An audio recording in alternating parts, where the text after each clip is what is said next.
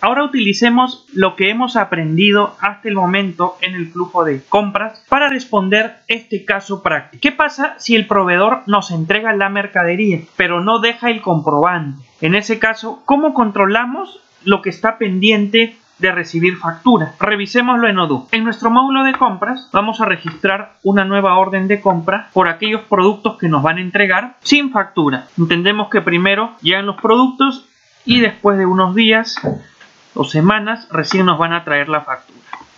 Consignamos las cantidades exactas. Ahora, ¿por qué registro una orden de compra si no tengo factura?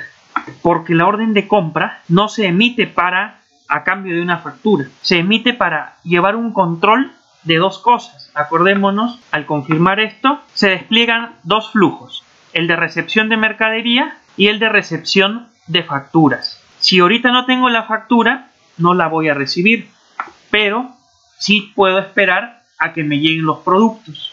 Vamos a ver nuestras órdenes de compra o pedidos confirmados. Acá nos dice nada para facturar. ¿Por qué? Porque todavía no nos ha llegado el producto. Pero lo que este caso práctico nos dice es que primero nos va a llegar el producto, entonces recibámoslo, lo valido una vez validado, ya ingresó esto a nuestro stock. Nuestra orden de compra ya tiene las cantidades que hemos recibido. Y si regresamos a las órdenes de compra, vemos que ahora sí nos dice que está para facturar, es decir, recibir la factura. A diferencia de esta otra, por ejemplo, que dice nada que facturar, significa que todavía no nos han entregado la mercadería que hemos pedido en esta orden de compra. Pero en esta primera ya nos han entregado la mercadería, pero no nos han emitido la factura.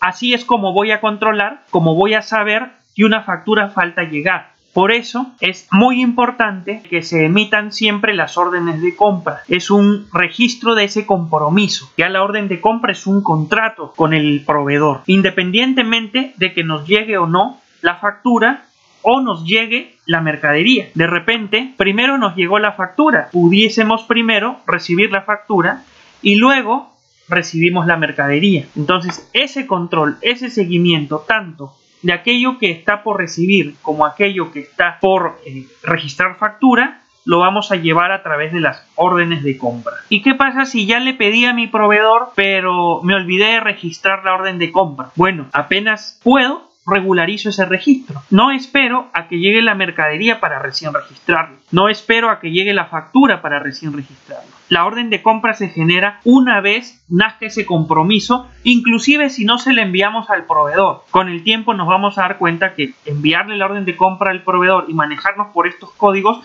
nos facilita la vida tanto al cliente como al proveedor. Suscríbete a nuestro canal y si tienes internet, ahí nos vemos.